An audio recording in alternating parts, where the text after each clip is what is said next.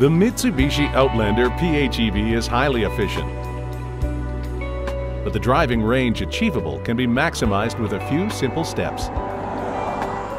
The potential driving range is available to view through the Smart Display Audio and is constantly adjusted based on a number of factors that influence the energy usage of the vehicle. As with a conventional car, the potential range is very much dependent on the way the vehicle is driven and the ambient conditions. The onboard computer also takes into account the previous journey. If the vehicle was driven vigorously or gently, then it will assume that the following journey may also be similar and adjust the estimated range accordingly. The total estimated EV range displayed when the vehicle is started after a full charge can therefore vary each time. Power consumption and range is also very dependent on driving style.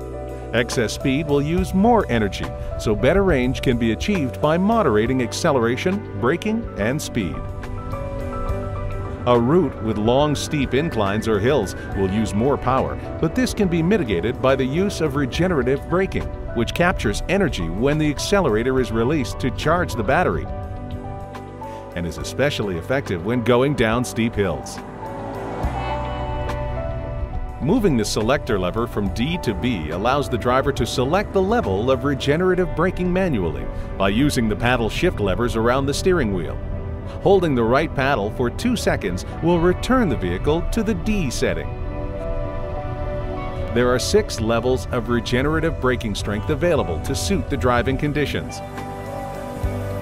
The range may also be affected by the ambient temperature in particular extreme cold. This can affect the efficiency of the traction battery, as can the use of items such as heating and air conditioning, both of which use electric power from the main traction battery to operate. Air conditioning systems are particularly energy hungry, so excessive use will consume more power. It is good practice to preheat or pre-cool the car while plugged in before the journey to reduce the impact on the range. The use of heated seats and heated steering wheel functions rather than the main heating system will also help preserve battery power. Both are far more efficient than heating the whole cabin for a single passenger. In addition to these measures, Eco Mode is also useful to conserve energy and improve the overall range. It reduces the power allocated to the heating and air conditioning units, as well as reducing the power available at the throttle to provide a longer range and encourage gentler driving. Finally, Battery Save Mode preserves the remaining drive battery power for use in appropriate driving environments such as towns and cities. While Battery Charge Mode enables the driver to boost the battery capacity for long inclines and hills.